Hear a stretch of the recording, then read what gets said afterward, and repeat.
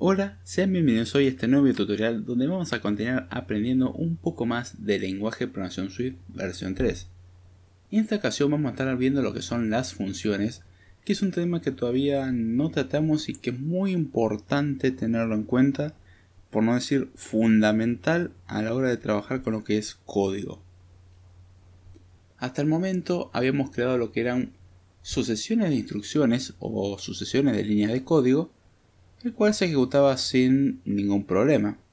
Ahora bien, cuando uno quería volver a utilizar el mismo código, salvo que uno lo pusiera dentro de lo que era un bucle o volviese a escribir el código, no se ejecutaba, se ejecutaba una sola vez. Y ciertos comportamientos que uno quisiera decir, eh, por ejemplo, a la hora de establecer una lectura o a la hora de imprimir un mensaje, quiero que esto sea un poco más flexible a la hora de permitirme tomar entradas, por ejemplo.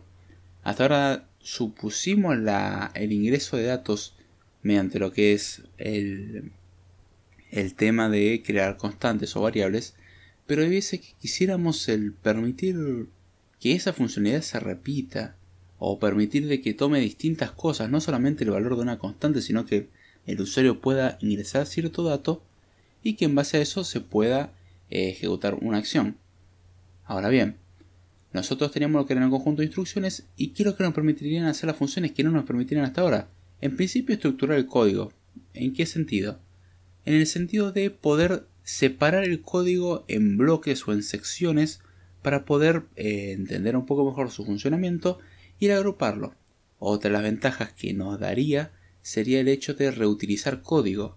Cuando nosotros hay cierta cosa que la tendríamos que repetir en varios patrones o ciertas acciones que se tendrían que realizar en muchos casos, pero uno no puede establecer que en todos los patrones se hagan lo mismo. Por ejemplo, si estamos trabajando con una A, quiero que haga cierto procedimiento y, e imprima una cosa. Si estamos con una E, queremos que haga cierto procedimiento e imprima otra. Entonces, pero si estamos en una consonante, no queremos que haga el procedimiento. En vez de escribir este procedimiento que podríamos estar hablando de algo que sean dos o tres líneas o algo que sean diez líneas, en vez de reescribir dos veces eh, esas diez líneas, podríamos crear una función, entonces lo único que uno haría es escribir el código dentro de una función y en el momento en que uno lo necesite simplemente tiene que llamar a la función. ¿Cuál es la anatomía de una función? Una función podemos pensarlo como una pequeña caja en la cual tenemos una entrada, un agujero de entrada, otro agujero de salida. La caja adentro hace algo, ejecuta un proceso entonces uno ingresa un dato o varios datos que se lo conocen como argumentos, que son los datos de entrada. La caja va a procesarlo, es decir, va a ejecutar un código y después se va a devolver una salida. La salida es justamente lo que nosotros queríamos obtener con la función. Puede darse el caso en que no tengamos ninguna entrada, puede darse el caso en que no tengamos ninguna salida, puede darse el caso de ambos, puede darse el caso en que la entrada sea múltiple o que la salida sea múltiple. Y eso es lo que vamos a estar viendo a lo largo de lo que es eh, este capítulo y probablemente el siguiente. Entonces, una función, ¿cómo lo vamos a pensar? Lo vamos a pensar como una caja que tiene entrada, una salida y adentro se procesa algo. Después, una de las ventajas que tiene es que puede utilizar la funcionalidad de esa caja múltiples veces simplemente llamándola. Entonces, eh, una función está compuesta por lo que es una declaración en el punto que uno dice declaro esta función que va a hacer tal cosa y finalmente tenemos el tiempo en el que llamamos a la función, es decir, el momento en que realmente vamos a utilizarlo. Pues nosotros podemos no comenzar el código, o mejor dicho, comenzamos el código con una función y no comenzar utilizándolo. Y hay ciertos casos que uno quisiera, quiero también eh, ejecutar esta función acá, acá y acá. Entonces, ¿cómo haría eso? Mediante lo que es el llamado a una función. Así que comencemos a ver lo que son las funciones. Vamos a hacer en principio una función que lo, que lo único que haga es tomar un argumento, que va a ser un string, y nos va a devolver eh, lo que es el string más una parte más en la cual vamos a hacer por ejemplo una función que se llame saludar. ¿Qué es lo que va a hacer la función saludar? Va a tomar un nombre y nos va a devolver un saludo junto con el nombre. Entonces, ¿cómo creamos una función en Swift? Escribimos la palabra clave func de function func espacio, el nombre de la función, con este nombre es como se lo va a identificar de ahora en más. Entonces vamos a llamarlo, por ejemplo, saludar. Generalmente el estándar a la hora de escribir es comenzar con minúscula y cada vez que uno quiera decir va a comenzar una nueva palabra, recordemos que los nombres no pueden tener espacios, eh, comenzaríamos la primera letra con una mayúscula. Así que vamos a llamar la función saludar. Ahora, ¿qué es lo que va a tomar la función? Va a tomar un string. Entonces, ¿cómo hacemos esto? Esto que se lo conoce como parámetros o argumentos, lo escribimos de esta manera. Abrimos un paréntesis. Dentro del paréntesis ponemos el nombre con el cual vamos a identificar esto que le vamos a pasar. Y cómo se va a llamar en este caso lo que le vamos a pasar. Va a ser un nombre. Entonces, qué buen momento de llamarlo nombre. Nombre, al igual que nosotros haríamos con una constante o una variable, tiene un tipo. Entonces, ¿de qué tipo va a ser nombre? Va a ser de tipo string. Entonces ponemos dos puntos, espacio, string. Cerramos el paréntesis. Y hasta ahora lo que estamos creando es una función que se llama saludar. Que toma un argumento llamado nombre. Durante todo el llamado a la función, nombre va a ser algo temporal, al igual que funcionaría dentro de un for.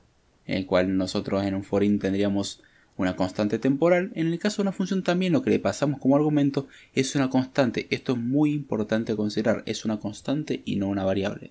Entonces, ahora la función saludar va a tomar un argumento que es nombre, que va a ser de tipo string, y después tenemos que decir qué es lo que va a devolver.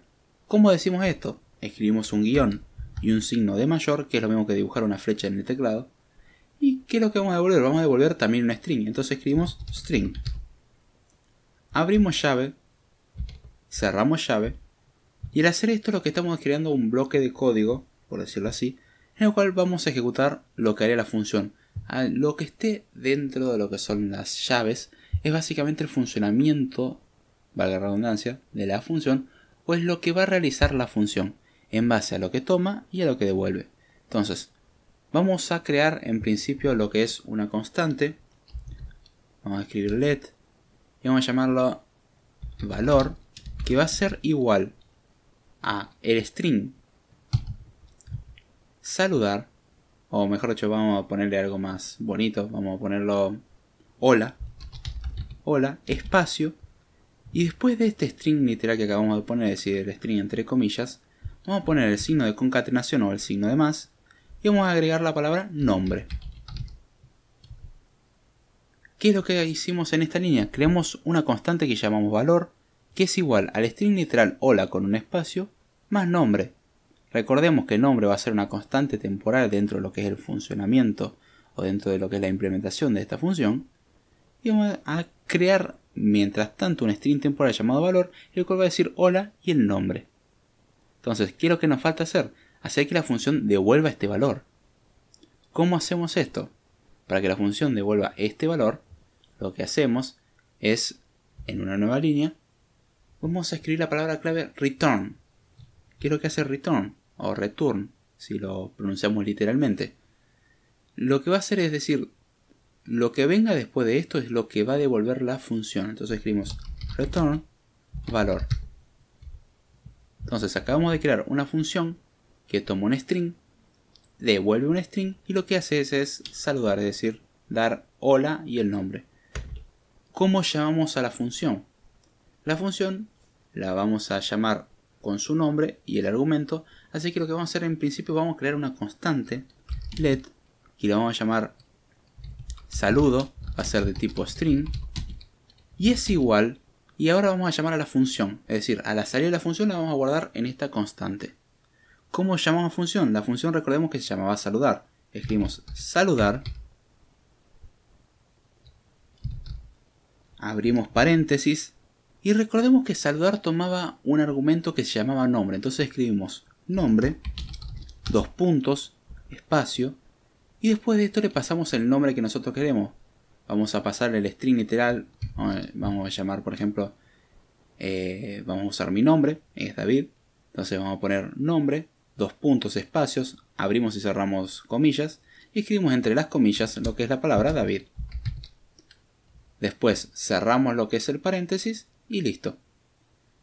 Acá lo que acabamos de hacer es llamar a la función saludar y para llamar a la función saludar o para llamar en realidad cualquier función lo que se hace es escribir el nombre de la función, se abre un paréntesis, se ponen los parámetros o argumentos que toma, primero con el nombre dos puntos, y recordemos que cuando declaramos la función era nombre dos puntos y el tipo string, y en este caso lo que se hace es escribir nombre dos puntos y el valor justamente cuando se llama una función, se pone muy parecido a como declaramos la función, pero en vez de poner el tipo, ponemos el valor.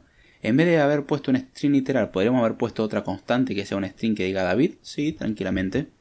Entonces, esas son cosas que nos va a permitir. Y el valor de retorno va a ser de tipo string. ¿Dónde lo guardamos? Lo guardamos en la constante que acabamos de crear que le llamamos saludo. Así que ahora vamos a imprimir, print saludo. Le damos a correr.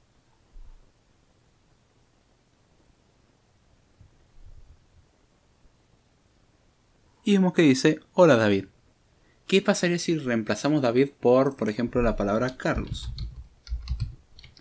Le damos a correr. Y dice, hola Carlos, vemos que ya tiene un comportamiento más flexible. Por ejemplo, nosotros eh, podríamos crear lo que es un arreglo y recorrer lo que tenga distintos nombres y podríamos imprimir los distintos nombres. Antes de eso vamos a crear otra función que vamos a llamar, va a ser func. La vamos a llamar saludar otra vez. Va a tomar un argumento, abrimos un paréntesis, escribimos la palabra nombre, dos puntos, escribimos string para decir que lo que toma es algo de tipo string, cerramos el paréntesis, hacemos la flecha con lo que es el guion y el signo de mayor, va a devolver también algo de tipo string, abrimos y cerramos llave y entre medio vamos a escribir lo que es el funcionamiento de la función o valga la redundancia, la función, el contenido o el cuerpo de la función. Recordemos que en la función anterior lo que nosotros hicimos fue crear una constante y retornar su valor. A esto por lo menos al tema de volver algo se lo conoce como retornar. ¿Nosotros podríamos haber hecho el retorno directamente? Sí. Vamos a hacerlo en este caso, vamos a poner return. Y el retorno lo que vamos a devolver va a ser el string. Hola. Espacio. Después de este string literal ponemos el signo de más, escribimos la palabra el nombre, que va a ser la constante, más, y después escribimos otro string que sea qué gusto verte de nuevo.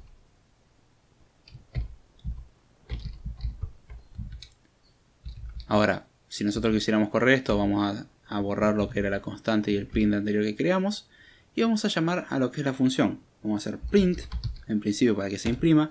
Y dentro del print, se print, abrimos paréntesis, cerramos paréntesis y entre medio escribimos saludar otra vez abrimos y cerramos paréntesis, escribimos adentro de los paréntesis nombre, dos puntos, y ahora por ejemplo vamos a poner Carlos. Corremos el programa. Perdón, me olvidé las, las comillas del string. ahora sí. Dice, hola Carlos, qué gusto verte de nuevo. Entonces acabamos de crear una función y vamos a hacer algo más divertido. Vamos a borrar esta última línea y vamos a hacer for vamos a llamar nombre o nom in. Vamos a crear un arreglo literal, es decir, abrimos y cerramos corchetes y entre medio empezamos a escribir nombres. Vamos a escribir Carlos, coma, David, coma, Alberto. Es decir, creamos un, arreglo de strings, literal. Después abrimos y cerramos lo que son llaves. Y dentro de esto lo que vamos a hacer es un print. Escribimos print, abrimos y cerramos paréntesis y entre medio escribimos lo que es, por ejemplo, saludar.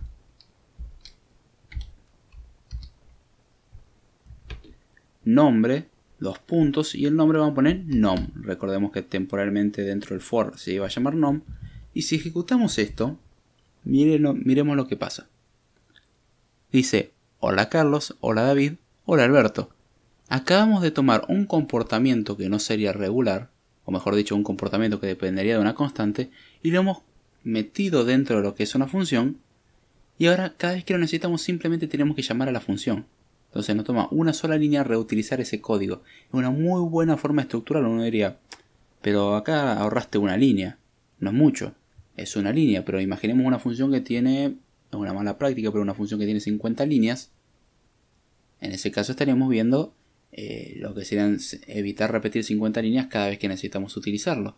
Y además que nos brinda la flexibilidad de justamente poder reutilizarlo de esta manera. Entonces ya estamos viendo cómo es el trabajo de una función básica con la cual vamos a poder empezar a modularizar o organizar lo que es el código. Ahora bien, vamos a borrar lo que es este bucle for porque no, no nos interesa seguir trabajando con esto. Y vamos a crear lo que es una función que no toma parámetros, pero que sí devuelve un valor. ¿Cómo hacemos esto? Vamos a escribir func.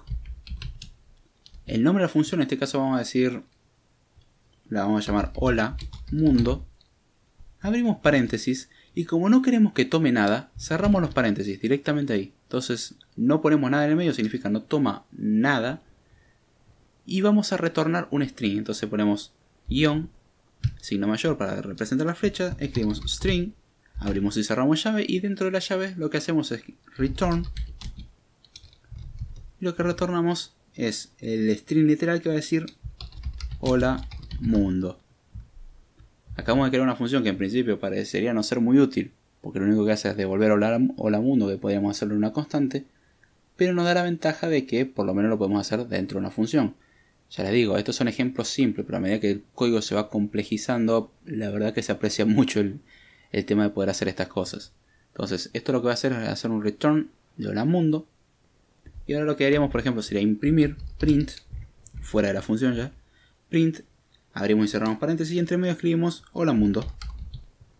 Abrimos y cerramos paréntesis para decir que estamos llamando una función. Las funciones siempre se llaman, mejor dicho, siempre se llama una función, si lo llamamos utilizando paréntesis, se le pasan los argumentos. Si es que tiene, en este caso como no tiene ningún argumento, no le pasamos nada quedan un paréntesis que se abre y un paréntesis que se cierra inmediatamente.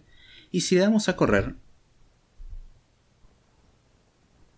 el programa imprime hola mundo. Acabamos de crear un hola mundo en una función y después llamamos a la función. Entonces ya estamos viendo cómo está funcionando esto. Ahora digamos, creamos una función que no toma nada. ¿Se podría hacer una función que no devuelve nada? Sí. Vamos a crear una función muy similar a la de hola mundo, que vamos a llamarla, vamos a hacer func y vamos a llamarla decir hola mundo. Se va a llamar decir hola mundo la función. No va a tomar nada. No va a devolver nada y cuando no devuelve nada tenemos dos opciones. Una es no, no escribir nada más, es decir, terminar con el programa, o mejor dicho, con el tipo de retorno en vez de flechita y algo un tipo. No escribimos nada, eso es una convención. Y otra forma es escribir una flecha, o sea, la flecha es siempre escribir void con la B mayúscula, que es un tipo que dice no estoy devolviendo nada. Por ahora vamos a escribir void para agarrar la costumbre. Abrimos y cerramos llave. Y dentro de esto lo que vamos a hacer un print. Hola mundo como veníamos haciéndolo desde el principio. Entonces, en vez de llamar al print de la función hola mundo, vamos a borrar esa línea y vamos a llamar directamente a decir hola mundo. Abrimos y cerramos paréntesis para indicar que estamos llamando a la función. Y si le damos a correr, vemos que dice hola mundo al igual que lo hacía la función anterior. Las dos hacen exactamente lo mismo, nada más que una retorna un string y la otra no retorna nada. O cuando decimos devuelve void es lo mismo que decir no devuelvo nada. Si nosotros borráramos el devuelvo void, dejaríamos decir hola mundo, abrir y cerrar paréntesis y abrimos llave inmediatamente, es lo mismo que decir no devuelve nada. Nosotros vamos a volver a correr el código, vemos que realmente da lo que tendría que dar. Perfecto. Entonces ya acabamos de crear cuatro funciones, las cuales algunas toman un argumento y devuelven un, elemento, otras toman un argumento y devuelven otro elemento, otras no toman nada y devuelven un elemento, otras no toma nada y no devuelve nada. Hace todo dentro de la función. Y algo a considerar muy importante es que cada variable o cada constante que declaremos dentro de una función no es accesible por fuera. Por ejemplo, vamos a decir a la decir hola mundo, vamos a crear dentro una constante que vamos a llamarla, eh, por así decirlo, eh, código inútil, que va a ser de tipo entero y que va a ser igual a 10. Si nosotros quisiéramos acceder a código inútil y lo quisiéramos imprimir fuera de la función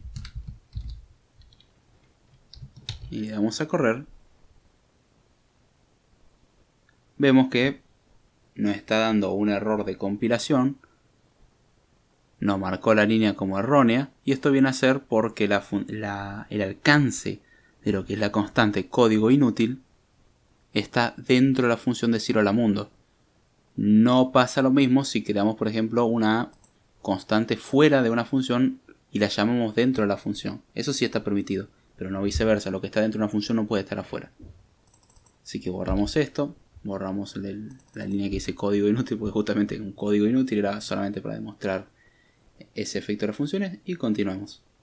Ahora bien, una función hasta ahora podía tomar un solo argumento. ¿Qué pasa si queremos una función que tome más de un argumento? ¿Se puede? Sí, tranquilamente, podemos tomar más de un argumento. ¿Cómo lo hacemos? Vamos a crear una función, vamos a escribir func, y a la función la vamos a llamar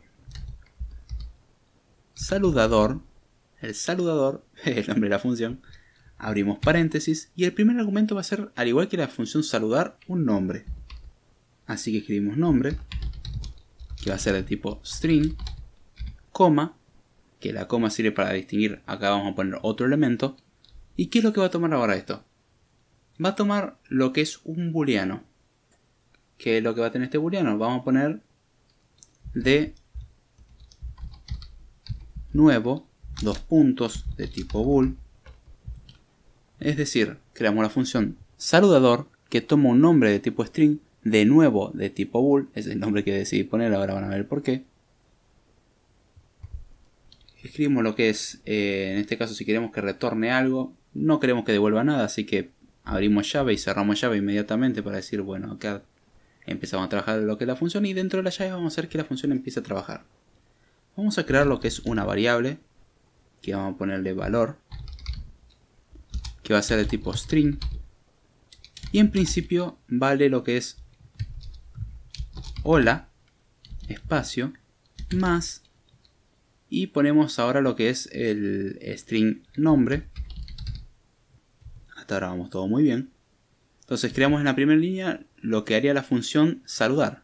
Podríamos incluso hacer de que sea invocar a la función saludar, pero no, no lo vamos a hacer. Y ahora lo que podríamos hacer, también algo muy interesante, es por ejemplo un if. Escribimos if. Si ponemos if, ¿qué cosa? De nuevo. Entonces if de nuevo. ¿Y qué haríamos en el caso si es de nuevo? Haríamos lo mismo que saludar otra vez. Abrimos eh, lo que son llaves, cerramos llaves y dentro de la llave lo que escribimos es, en este caso, valor más igual y el string qué gusto verte de nuevo. Entonces, hasta ahora la función lo que estaría haciendo es crear una variable, valor, de tipo string que va a tener en principio hola y el nombre que le pasamos como argumento. Después hacemos un if de nuevo, si se cumple que eso es true, eh, valor le agregaríamos al final lo que es qué gusto verte de nuevo. Y al final lo que haríamos es después de ese if, un print. Y el print que es lo que va a imprimir, valor. Entonces, vamos a llamar al final después de lo que es la función a saludador que va a tomar, abrimos paréntesis, toma primero un nombre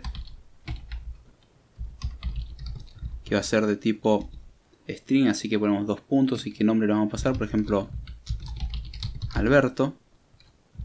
Después de haber puesto lo que es el primer argumento, ponemos una coma y ponemos de de nuevo dos puntos. Y como esto es un booleano, por ejemplo, vamos a pasar en principio lo que es false. Entonces, si corremos este código, veamos lo que nos devuelve. Dice, hola Alberto. Si analizamos la función, la función crea lo que es una variable tipo valor que va a decir en principio hola Alberto. Y de nuevo es falso, entonces no se ejecuta lo que hay en el if. Acto seguido se imprime valor y todo muy bonito. Ahora bien, si nosotros cambiamos el de nuevo por true y corremos esto, esto nos da como resultado, hola Alberto, qué gusto verte de nuevo. Entonces vemos como ya podemos flexibilizar el comportamiento en base a agregar argumentos a una función, en este caso un booleano. También podemos hacer que tome valores, que tome listas, que tome un montón de cosas. Y así mucho del código que escribimos hasta ahora en lo que eran, por ejemplo, 10, 15, 20 líneas, o 5 líneas incluso, y si uno sabe que eso va a ser un comportamiento en particular que después podría querer usarlo, o que por lo menos lo quiere estructurar un poco mejor, una muy buena idea es meterlo dentro de una función como lo estamos haciendo hasta ahora. Así que hasta ahora podemos devolver, mejor dicho, tomar muchas cosas. Y algo que nos interesaría, por ejemplo, es devolver muchas cosas, porque hasta ahora los valores de retorno son simples. Es decir, un string, puede ser un entero, puede ser lo que uno quiera, pero uno quisiera poder devolver muchas cosas. ¿Cómo podemos devolver muchas cosas? Vamos a utilizar lo que es un recurso que ya trabajamos anteriormente, que son las tuplas. Con tuplas podemos devolver múltiples cosas y vamos a definir en principio lo que es una función. Vamos a borrar lo que es el print este. Y vamos a definir una función. Vamos a hacer func. Func que se va a llamar min max que va, vamos a abrir paréntesis, va a tomar lo que es en principio una lista que es de tipo arreglo entero. Además de lo que es esta lista que es un arreglo de entero va a tomar eh, mejor dicho no va a tomar nada más. Y ahora lo que haríamos es devolver una tupla.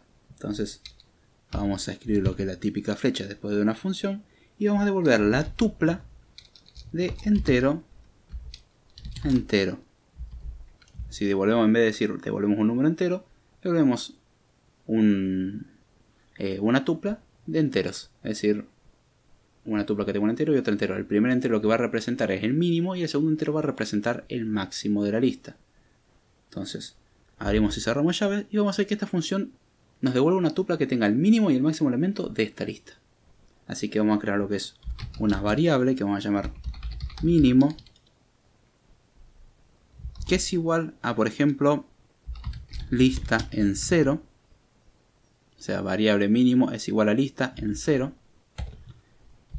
Otra variable que llamamos máximo es igual a la lista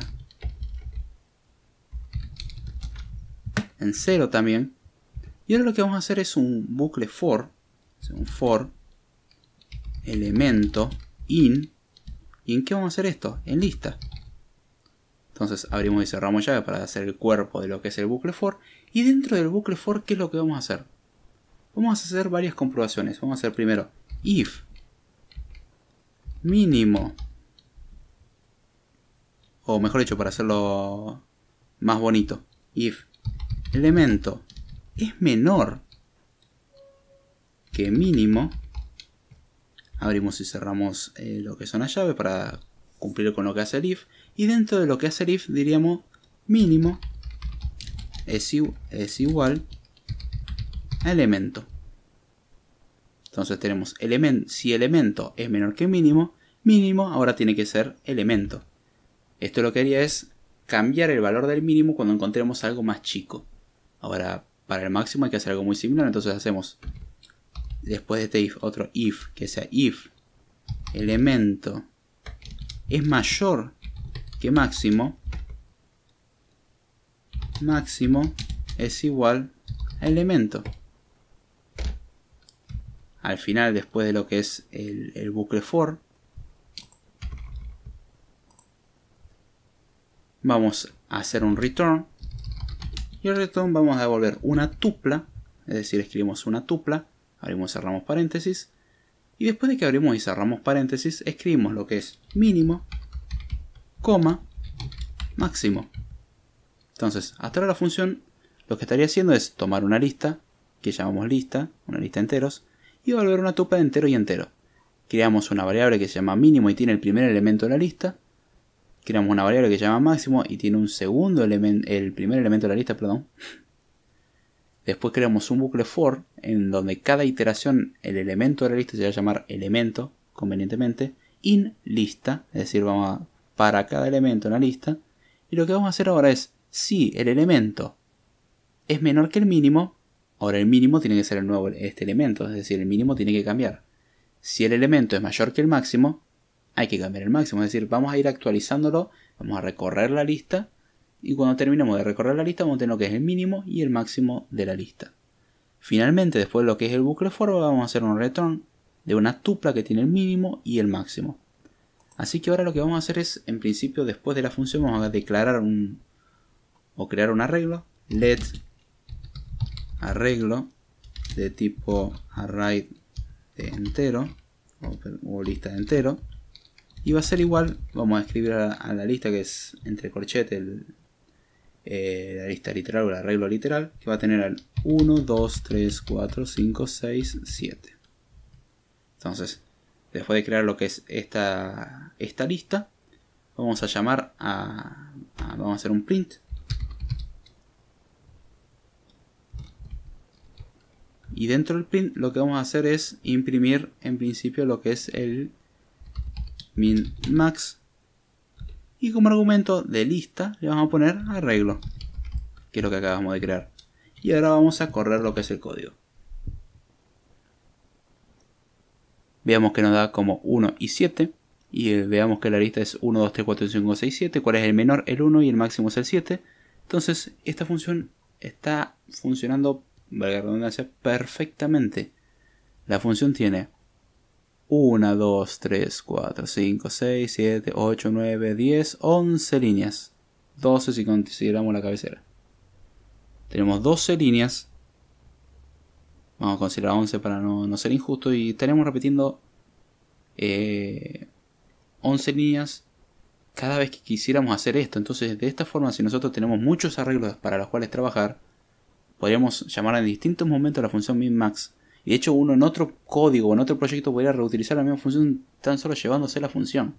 Entonces no tendría que volver a escribir el código, sino que es simplemente llevarse esta función para poder reutilizarla.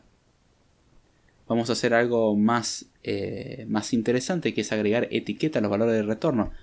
En principio borremos lo que es el print y vamos a imprimir de una manera más agradable. Y después vamos a crear lo que es una constante que llamamos let valor que va a ser igual a minmax de arreglo. Entonces esto es lo que vamos a almacenar temporalmente el resultado de aplicar la función minmax sobre lo que es el arreglo. Después vamos a hacer un print que lo que va a decir es el mínimo es operador de interpolación, es decir, barra invertida, paréntesis, y entre medio ponemos lo que es valor punto cero. Luego hacemos otro print, print, el máximo es el operador de interpolación, valor punto 1. Si corremos el código nos daría el mínimo es 1, el máximo es 7 todo muy bonito, pero veamos que estamos accediendo con lo que son los índices. Y uno muchas veces con las tuplas, recordemos que podríamos tener diferentes tipos, podríamos tener por ejemplo 5 componentes en la tupla y no nos acordamos de cuál es cuál. Entonces, algo que podemos hacer con las tuplas era darles una etiqueta. En las funciones se podrá perfectamente. ¿Cómo hacemos eso? Cuando definimos la función, definimos minmax que toma la lista de tipo lista de enteros y retorna una tupla de entero y entero. Lo que podemos hacer es, antes de decir el tipo, es decir, antes de decir que sea por ejemplo una tupla de entero, escribimos por ejemplo antes del primer entero la palabra mínimo, dos puntos, espacio y va a quedar el entero, al igual que crearíamos lo que es una constante o una variable, y dentro de lo que es el máximo también escribimos máximo, dos puntos, entero como quedaría, entonces ahora la función minmax toma una lista, o un argumento se va a llamar lista, que es un de tipo lista de enteros, y devolver una tupla cuya primer componente se va a llamar mínimo y va a ser de tipo entero y su segunda componente se va a llamar máximo y va a ser también de tipo entero. Entonces a la hora de llamarla después de la función, en vez de llamarla con 0 y 1, vamos a llamarla con valor punto mínimo y con valor punto máximo. Corremos esto. Y vemos que nos da el mínimo es 1, el máximo es 7. Entonces, hasta ahora esto está yendo muy bonito, ya podemos devolver muchos elementos, pero aún así esta función sigue teniendo un defecto. Si nosotros le pasamos la lista vacía, esto no va a funcionar. ¿Por qué no va a funcionar? Porque veamos en las primeras líneas de la función, minmax toma lo que es lista en cero. Y lista en cero sería el primer elemento de la lista. ¿Y cuál es el primer elemento de una lista que no tiene elementos?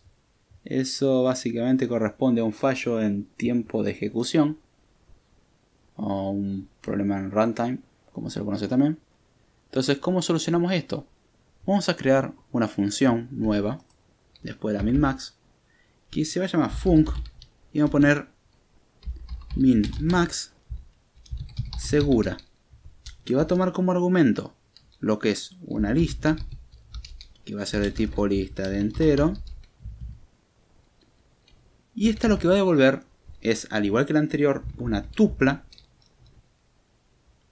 Va a ser mínimo, dos puntos de tipo entero, coma, máximo, dos puntos de tipo entero.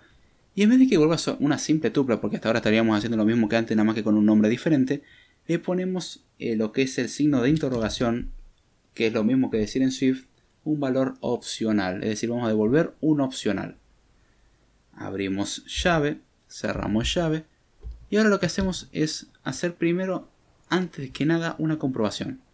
Hacemos if. ¿Qué pasa? If lista punto is empty. Recordemos que lista punto is empty devolvería true si la lista está vacía. Abrimos y cerramos llave y dentro de esto lo que, que escribiríamos sería return nil para decir devolver nil. En caso contrario, nosotros podríamos acá escribir, por ejemplo, un else. Pero veamos que el if, si en realidad se cumple la condición de que la lista esté vacía, llama return. Si llama return significa que sale de la función. Ya terminamos con la función, podemos cortar con la función antes de tiempo. Entonces, en vez de escribir un else, que en este caso sería inútil, podemos arrancar escribiendo directamente qué es lo que queremos que haga. En caso contrario, nosotros vamos a tener la garantía de que la función va a poder trabajar porque la lista va a tener al menos un elemento.